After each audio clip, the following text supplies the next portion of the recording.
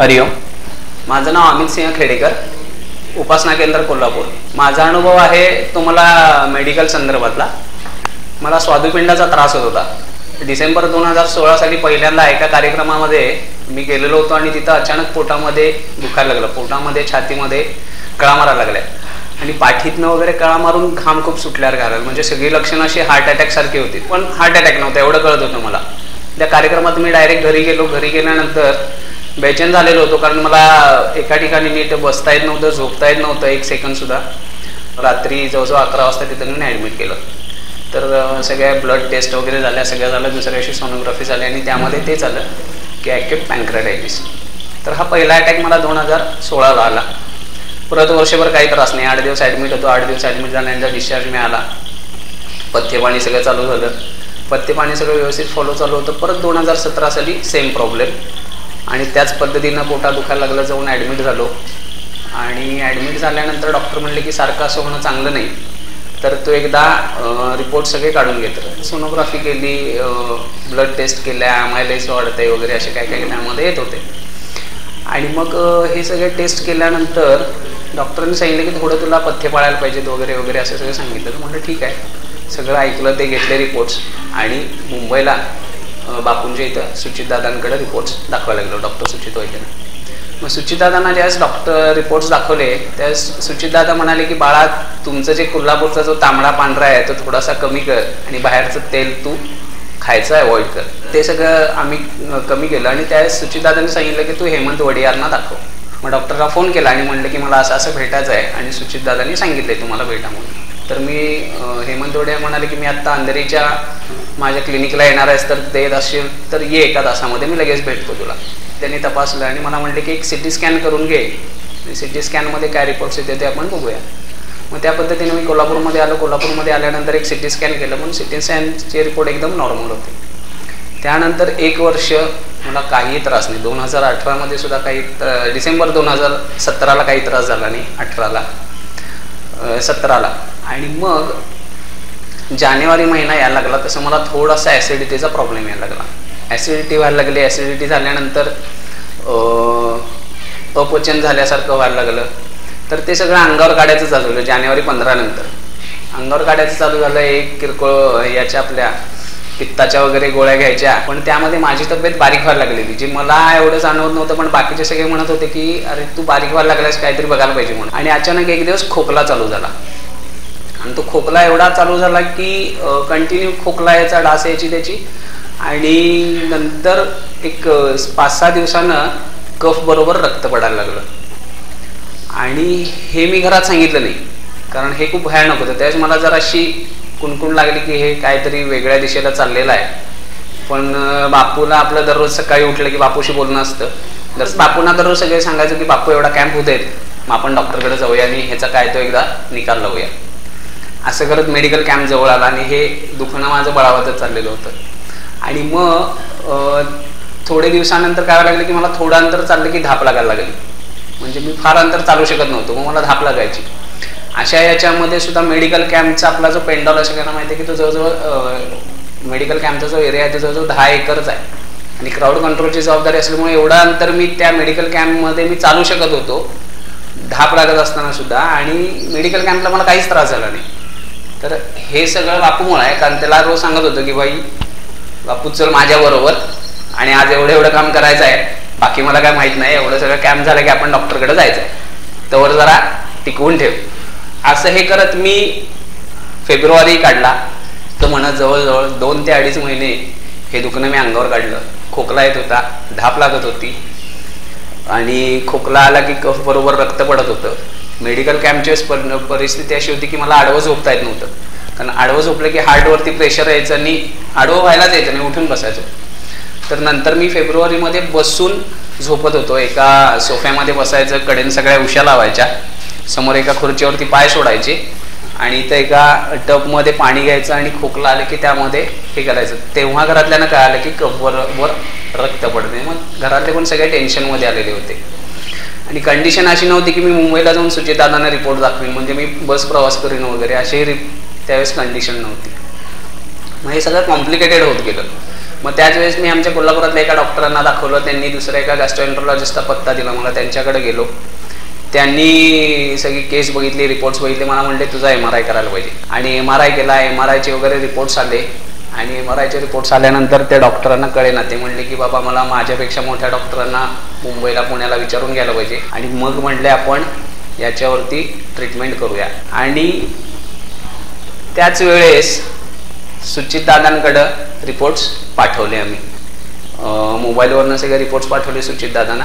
किंवा सेनिकम त्यांनी ते सगळे रिपोर्ट्स पाठवले आणि त्यांना एक दिवस रात्री इथं फोन आला संध्याकाळी की अमितला कोल्हापुरातल्या डॉक्टरकडनं जो डॉक्टर मिळेल त्या डॉक्टरकडनं ट्रीटमेंट करायला सांग. तो सांगेल त्याप्रमाणे ट्रीटमेंट घ्यायला सांग आणि रामरक्षा म्हणायला सांग. आणि मग त्यावेळेपासून रामरक्षा चालू झाली कंटिन्यू मी म्हणायला चालू केली घरातल्या सगळ्यांनी म्हणायला चालू केली आपले बापू परिवारातले जे आपले मित्र आहेत सगळे सिंह आहेत वीर आहेत त्यांनी म्हणायला चालू केली. मग त्या डॉक्टरकडे गेलो डॉक्टरने विचारलं काय होते मी म्हणलं मला पॅनक्रायटायटिसचा त्रास आहे. ते म्हणले मी ठरवणार. तुला त्रास काय होतोय ते सांग. मग सांगितलं की असं असं खोकला होतोय थोडीशी धाप लागतीये. मग म्हणले झोप. झोप म्हणल्यावर झोपायला येईना मला. तर म्हणले वा म्हणले व्हेरी गुड. तर म्हणले आता तुम्ही बाहेर बसा. त्यांनी स्टेटस सुद्धा मला लावला नाही त्यावेळेस. म्हणले तुम्ही आता बाहेर बसा. आणि हे माझ्याबरोबर जे बापू परिवारातले तिघ जण आलेले होते या तिघांना आतमध्ये घेऊन ते सांगत होते की मला जे झालंय दुखणं ते किती भयानक आहे म्हणून. आणि ते म्हणले एक चान्स फक्त आपण घेऊया. की याचा एकदा आपण सिटी स्कॅन करूया.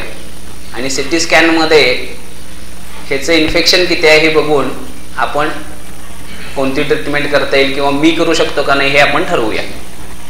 तर म्हणजे ठीक आहे मग त्याच वेळेस तिथंच त्यांनी गाडीमध्ये बसलो आणि डायरेक्ट सिटी स्कॅन करण्यासाठी त्यांच्याबरोबरच गेलो. सिटी स्कॅन केलं. सिटी स्कॅन केल्यानंतर रात्री दहा वाजता परत मला डॉक्टरांचा एक फोन आला. हे डायग्नॉस्टिक सेंटरमधनं फोन आला की तुमचा आणखीन एक सिटी स्कॅन करायला सांगितलं आणि तुम्ही परत या. रात्री दहा वाजता परत एक सिटी स्कॅन झालं. आणि मग त्याचे रिपोर्ट दुसऱ्या दिवशी दोन वाजता येणार होते. आणि मग त्यांनी ते सगळे रिपोर्ट्स दाखवल्यानंतर ते म्हणाले की मी याची ट्रीटमेंट करायला तयार आहे. तर झालेलं काय होतं की माझा पॅनिक्रायटायटिस आहे म्हणजे माझं जे स्वादुपिंड आहे आणि हे स्वादुपिंडाच्या वरती पित्ताशय असते तर त्या पित्ताशयामध्ये खर तयार होते आणि ती खर खाली येऊन स्वादुपिंडाचा त्यानं रस्ता बंद केलेला होता. आणि स्वादुपिंडाचा रस्ता बंद झाल्यामुळं तिथं तो दगड झाल्यासारखा झालेला होता. त्याच्यामुळं मार्ग माझं स्वादुपिंड फुगून फुटलेलं होतं आणि त्याचा रस पूर्ण शरीरामध्ये भिनलेला होता. तर तो रस इतका भयानक असतो म्हणे की तो ज्या ऑर्गनला लागतो ज्या पार्टला लागतो तो पार्ट खायला लागतो ऍसिड सारखा. आणि हे दुखणं मी दोन महिने माझ्या अंगावरती काढलेलं होतं. डॉक्टर म्हणाले दिवसाला दोन लिटर स्वादुपिंडामध्ये रस तयार होतो. आणि तो दोन महिन्याचा रस किती अंगामध्ये भिडला आणि काय झाला याचा काय पत्ताच नाही फक्त वाचलो कारण याच्याशी बापशी रोज बोलत होतो. दुसऱ्या दिवशी मला तिथे ऍडमिट केलं. मला वाटलं ऍडमिट केलं की लगेच दुसऱ्या दिवशी लगेच ऑपरेटिंग करतील औषध वगैरे म्हणजे ऑपरेशन वगैरे करून लगेच चालू होईल म्हणून. तर तिथे गेल्यानंतर कळालं की आजपासून आपल्याला टॅपिंग करायचं आहे तर असं माझं रोज टॅपिंग चालू झालं. गुरुवारी ऍडमिट झालो. गुरुवार शुक्रवार बुधवार गुरुवार शुक्रवार बुधवारी ऍडमिट झालो. तीन दिवस टॅपिंग चालू होतं. तर ते टॅपिंग करताना जवळजवळ चार पाच ठिकाणी कारण ते असं सोनोग्राफीच्या मशीननं बघायचे कुठं आहे पॅच आणि तिथं ते पंक्चर करायचे आणि त्यातनं तो पाचकरस सगळा काढायचे. असं रोज मला किमान एक पाच ठिकाणी ते पंक्चर करायचे. आणि ते एवढं भयानक होतं म्हणजे मला माहीत नाही. कारण मला ते कधी दुखलं नाही. पण माझा पहिल्या दिवशी भाऊ बसलेला त्यानं दुसऱ्यांदा टोचल्यावरच तो उठून बाहेर आला. म्हणला मी काय बघू शकत नाही म्हणून. आणि तो डॉक्टर असा फुल हे करून ते काढायचा रोज एकवीस एकवीस सिरिंज इन्फेक्शन निघत होतं. ती मोठी सुई मोठे इंजेक्शन असताना. ते एकवीस सिरिंज रोज बावीस तेवीस असं ते निघत होतं इन्फेक्शन आणि त्या डॉक्टरला न राहून त्यानं दुसऱ्या दिवशी मला विचारलं की बाबा तो दुखत नाही आहे का? तो सिंधी आहे तो मला विचारायचा अरे यार तुझको कुछ दर्द होता नाही? म्हणलं नाही. तो म्हणला क्यू? तर तो भुलीचं इंजेक्शन द्यायचा ॲक्च्युली पण तरी सुद्धा ती सुई आत जाताना बरगडीला लागली किंवा घासून जाते किंवा ती अशी जाणवते आतमध्ये. म्हणजे ती जाणवायची पण दुखत नव्हतं. कारण ते दुखणार कसं ना? कारण ह्याचीच ग्वाही आहे. सुरीचा जो स्पर्श झाला कळ ह्याच्यावर हृदयात मला नाही येत. ती त्याला लागत होती. तर तो रोज एक असं हे करत होता तर त्याला पटे ना. तर त्यांना आमच्या जे डॉक्टरनं मला तिथं पाठवलेलं होतं जे गॅस्ट्रोएंट्रोलॉजिस्ट होते त्यांना सांगितलं की ये भाई लड़का है या जानवर है मुझको समझ में नहीं आ रहा है. कल मैं टैपिंग के टाइम पे तू तू आ यहाँ पे. मैं एक लोगों को एक जगह पे पंक्चर करता हूँ तो वो चिल्लाते इसको मैं हर रोज पांच जगह पंक्चर कर रहा हूँ यार ये चिल्लाता ही नहीं है। इसको कुछ दर्द ही है। तो म्हणला बघायला तर दुसऱ्या दिवशी खरोखर ते डॉक्टर बघायला आले. आणि मला विचारलं अरे आम्ही तुला दुखत नाही रे मी म्हणलं नाही. म्हणले ठीक आहे ठीक आहे चालू दे. दुखत नाही तर चांगली गोष्ट आहे. सुहास निकम आणि चारुदत्त सिंह बुरके हे दोघ जण मुंबईला जाणार होते एका कामासाठी. त्यावेळेस ते जाताना माझ्या रिपोर्टचे सगळ्या झेरॉक्स घेऊन गेलेले होते बरोबर. मी आपलं रोज म्हणते बापू हा रे बापू हा कधी घेणार ऑपरेशनला? हा रोज मला टॅपिंगच करायला लावतो एक तर झोपता येत नाहीये काय होत नाहीये. रोज सोनोग्राफी चालू आहे रोज ते टॅपिंग चालू आहे. तर तो भूलतज्ञ यायचा आणि मला म्हणायचा श्वास घे. मग मी श्वास घेतला ना की म्हणायचं ठीक आहे उद्या परत टॅपिंग अरे म्हटलं चाललंय काय? म्हणजे हा मला स्टेथोस्कोप लावायला सुद्धा तयार नव्हता. मग शेवट शनिवारी दुपारी मला सुहास यांचा फोन आला. म्हणले अरे मी आज मधनच गेलेलो सुचितदादांना रिपोर्ट दाखवायला. सुचितदादांनी नंबर लावतानाच बोलवून घेतलं आणि म्हणाले त्या खेडेकरचं काय आलं? तर मी म्हणलं काय त्याला ऑपरेशनला अजून घेण्यात वगैरे असं सगळी परिस्थिती सांगितल्यावर दादा म्हणले उद्याच्या उद्या ऑपरेशन करून टाकायला सांग. त्याचं सगळं झालेलं आहे म्हणून. शुक्रवारी टॅपिंग करून माझ्या पाठीतनं एकवीस सिरिंज त्या दिवशी त्यांनी इन्फेक्शन काढलं. एकवीस सिरिंज इन्फेक्शन काढलं आलो संध्याकाळी भूलतज्ञ आले आणि डॉक्टरांना माझ्या रूममध्ये आल्या आल्या मी म्हणलं की डॉक्टर उद्या ऑपरेशन उद्या ऑपरेशन करायचं म्हटलं मला बाकी काय माहीत नाही. डॉक्टर म्हणले तू नाही ठरवायचं. भूलतज्ञ ठरवणार म्हणाले. मी ऑपरेशन करणार हा ठरवणार. त्या दिवशी मला श्वास घ्यायला लावला. मग मी श्वास घेतल्यावर मग खुश झाला म्हणलं अरे वा मग त्यांना लगेच स्टेतो लावला पाठीला इथं लावलं बघितलं श्वास घ्यायला सांगितला. म्हणले ओके उद्या ऑपरेशन. सद्गुरूचा निर्णय येत नाही की उद्या तुझं काय करायचं आहे आणि उद्या तुझं काय होणार आहे. तोपर्यंत डॉक्टर ही काही करू शकत नाही. हे त्या दिवशी मला पक्क कळालं. दुसऱ्या दिवशी ऑपरेशन ठरलं. ऑपरेशन दुसऱ्या दिवशी होतं. त्या दिवशी रात्री माझ्याकडे डॉक्टर आले. डॉक्टरांनी माझी कंडिशन सांगितली की म्हणाले तुझ्या लंग्समध्ये इन्फेक्शन आहे. उद्या तुझं ऑपरेशन चालू असताना जे तुला भूल दिल्यानंतर ऑपरेशन चालू असताना तुझ्या लंग्समध्ये म्हणजे फुफ्फुसामध्ये पाणी भरायची शक्यता आहे. त्यामुळं तुला व्हेंटिलेटर लागायची शक्यता आहे. तर आम्ही छोटा व्हेंटिलेटर आणलेला आहे. एक व्हेंटिलेटरची खाली ॲम्ब्युलन्स आहे आणि एक इथं हॉस्पिटल आहे मोठं. तिथं तुझ्यासाठी व्हेंटिलेटरचा बेड आम्ही अरेंज केलेला आहे. असंही होऊ शकतं की ते पॅनिक्रियाचं असल्यामुळं ते फुटलेलं आहे त्यामुळं त्यामधनं इन्सुलिन तयार होत नाही त्यामुळे तुझी शुगरही शूट होऊ शकते. ही शक्यता आहे. आणि जर लंग्समधनं पाणी भरलं आणि काय झालं तर तुला हार्ट अटॅक सुद्धा येऊ शकतो. एवढ्या शक्यता सगळ्या उद्याच्या तुझ्या आहेत. तर तुझी तयारी आहे का? म्हणलं डॉक्टर तुम्ही बिंदास्त राहा. बापूंचा निरोप आलाय आणि उद्या ऑपरेशन करायचंय. मला कसली भीती नाही आहे डॉक्टर म्हणला व्हेरी गुड त्यावेळेस संकटाबरोबर लढण्याचा वेळ असतो ना त्यावेळेस आपल्याबरोबर फक्त आपला सद्गुरू असतो. आणि माझ्याबरोबर फक्त बापू होता कारण त्या रूममध्ये मी फक्त बापूला बोलत होतो की तू माझ्याबरोबर चल. बाकी सगळे होते पण ते त्या दरवाजाच्या बाहेर होते. ते माझ्याबरोबर येऊ शकत नव्हते पण माझ्याबरोबर लढायला फक्त माझा सद्गुरू अनिरुद्ध बापू होता. फुल दिली बोलत बोलत आणि मग ते ऑपरेशन केलं. ऑपरेशन केल्यानंतर दोन तासानं माझी भूल उतरली. क्या अमित कैसा आहे म्हणलं एकदम मस्त. तो क्या करेगा? यहाँ पे सोएगा या बाहेर जायगा ऍक्च्युली मी आयसीयू मध्ये होतो.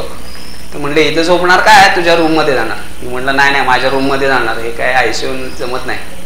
तर ते म्हणले चल बिंदास. कार रे म्हणले त्याचं सगळ्यांना त्याला जाऊ दे रूममध्ये.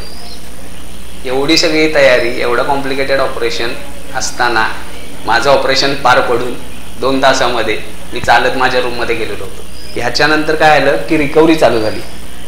माझं वजन जवळजवळ पंचवीस किलो त्यावेळेस कमी झालं. पंचवीस किलो पूर्ण वजन कमी कारण खाणं वगैरे बंद होतं नुसते सलाईन्स चालू होते. पंचवीस किलो वजन बंद झालं आठ दिवसानं मला घरी सोडलं. घरी सोडल्यानंतर पथ्य पाणी त्याच त्या गोळ्या एक विकनेस तर प्रचंड होता. आणि एक दिवस मी असं घरामध्ये फिरत असताना जीवन झाल्यानंतर मी माझ्या बेडवरती चढायला गेलो. असं पायथूनवरती चढायला गेलो तर मला चढायलाच येईना. मी मला माझं स्वतःचं बॉडी वेट उचलता येईना. म्हणलं अरे बापरे मी एवढा वीक झालोय. त्या दिवशी मला जाणवलं. त्या दिवशी बायकोला म्हणलं की रात्री गाडी काढ. आपण महालक्ष्मी मंदिरामध्ये जाऊया आणि आपण महालक्ष्मी मंदिराला एक एक फेरी मारूया. तेवढ्या ह्याच्यामध्ये आतमधले एक फेरी मारायला मला चार वेळा बसायला लागत होतं. असं करत करत करत हळूहळू हळूहळू मी वन टाईम एक फेरी मारायला सुरुवात केली. रामरक्षा कंटिन्यू चालू होती. म्हणजे ही सगळी ताकद आहे ती रामरक्षेची आहे. ही माझी अजिबात नाही आहे. कारण ज्यावेळेस मी ऑपरेशनला मला जायचं होतं हॉस्पिटलमध्ये त्यावेळेस मला खरोखर माझी गॅरंटी नव्हती. आणि मग ही रिकव्हरी चालू झाली. आणि मग मी डॉक्टरांना ज्यावेळेस आठ दिवसानं नंतर पंधरा दिवसानं बोलवायला लागले त्यावेळेस मी डॉक्टरांना म्हणालो की डॉक्टर मी आज महालक्ष्मी मंदिराला एक गोल फेरी मारून आलो मारतोय रोज म्हणून. डॉक्टर म्हणले काय बरं आहेस ना? म्हणलं होय एक फेरी मारतोय. एवढ्या फास्ट म्हणलं होय आता मी रोज रात्री जातो आणि हे करतो. झोपा म्हणले झोपा. मग असा झोपलो मी तिथं. झोपल्यानंतर बापूंचा ब्रोच कायम असतो इथं छातीला लावलेला. तर ते असे तपासत होते. तपासताना त्यांचा स्टेतो इथं बापूंच्या ब्रॉचवरती आला. ब्रॉचवरती आल्यावर मी म्हटलं काढू का? तर म्हणलं अरे नको नको नको. आबा त्यांना काढू नकोस. तू ह्यांच्यामुळं वाचलायस. तू माझ्याकडे न्यायला चालतोयस तर म्हणले बापूंना सोडू नकोस. कारण मी फक्त ट्राय मारलाय तुझ्यावरती. तुला जे खरं वाचवलंय ना ते तुझ्या बापूनं वाचवलंय. तिथनं जी आणि शक्ती आली तिथनं परत रिकव्हरी फास्ट दररोजचं हे फिरणं वगैरे हे. डॉक्टरांच्या मते की माझं ऑपरेशन झालेला माणूस किमान एक सहा महिने तरी बाकीचे काही उद्योग करू शकत नाही. पण तिसऱ्या महिन्यामध्ये मी गुरुक्षेत्रमला जाऊन एकटा बसनं दादांना रिपोर्ट्स दाखवले. आणि रिपोर्ट्स दाखवल्यानंतर दादाने सगळे रिपोर्ट्स बघून म्हणाले व्हेरी गुड काय नाही तुझा प्रॉब्लेम म्हणले आता बिंदास्त राहा. असं कितीही बिकट प्रसंग आपल्यावरती आला कितीही संकट मोठा असला ना त्या संकटापेक्षा मोठा आहे ना माझा बाप आहे माझा बापू आहे. हरिओम श्रीराम अंबदने